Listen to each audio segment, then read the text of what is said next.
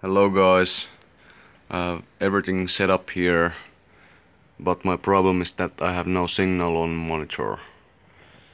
So I have HDMI on VGA, NVIDIA GTX 9070, 970, power cables properly set, Corsair's water cooling on my on my Intel Intel i5 6600 Skylake. There's red light on the motherboard indicating that there's something problem with the CPU but I don't know what it could be. It's probably set in its place and there's thermal paste and everything but it just doesn't work. That's weird. Please guys tell me what's wrong. I'd really appreciate that. Thanks.